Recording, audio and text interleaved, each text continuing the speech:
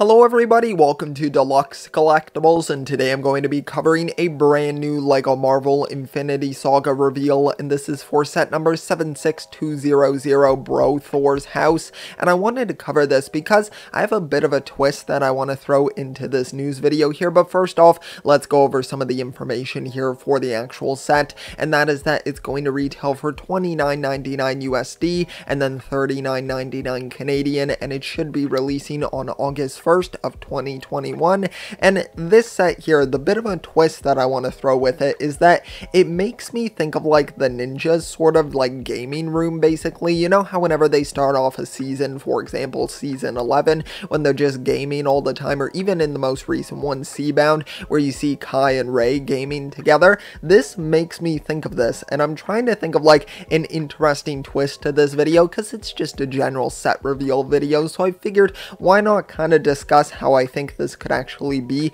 the ninjas sort of gaming room in some sort of way, but let's kind of break down some of the elements here that of course make it a Marvel set, and the main ones here of course are the minifigures included. Here we're getting Miek and Korg, and then Thor as well, who seems to be shirtless there, so I do like that quite a bit. I think the figures are quite good, even though personally I think Korg should be like a big figure, or like the new Thanos sort of big figure style. I feel like that would make a lot more sense with his size, but still the figure doesn't look bad from what I can see from this photo, and Miek doesn't look bad either, so nothing bad to say about that, but then for the actual setup of the room, of course, a lot of people are trying to speculate whether or not there's going to be like a Fortnite sticker or print on the tile on the screen there. Now, I think LEGO probably will, I would hope, maybe just something that looks at least very similar to Fortnite if they're not able to do it exactly, but it would definitely be cool if they did something exactly like how Fortnite looks, so I think that would be great to see. But even elements like, of course,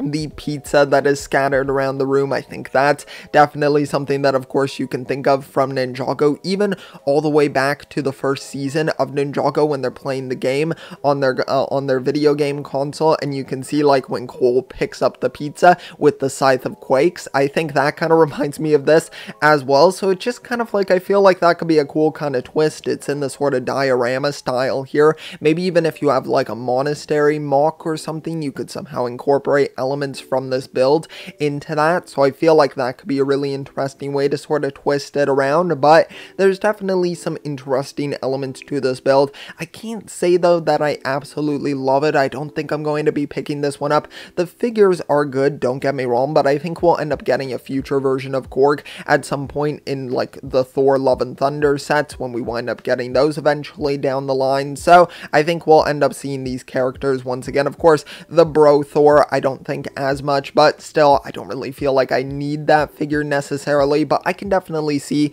why a lot of people would like this set. So I want to hear your thoughts and opinions on this, and also let me know your opinions on whether or not you think this could kind of be like the Ninjas gaming room. I think that could be kind of cool. That would maybe be the only thing that would tempt me to kind of want to get this set, but you could also probably just do a mock-up of that with just pieces that you have in your collection but still, I thought it would be kind of a cool twist on this news video since everyone's going to be covering this, so I thought might as well just kind of throw a bit of a twist into it that nobody else will probably wind up doing or connecting the dots with, so let me know all of your thoughts. I hope you did enjoy the video, and if you did, be sure to leave a like, also subscribe as well. If you did enjoy, that would be highly appreciated, so thank you so much. I will see you all next time, and always remember, keep on collecting.